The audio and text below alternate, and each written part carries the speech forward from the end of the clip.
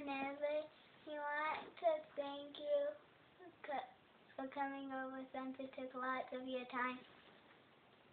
Anything else you want to say? We love you. Did you have a fun time with them? Yes. And they were awesome. Okay. Finish.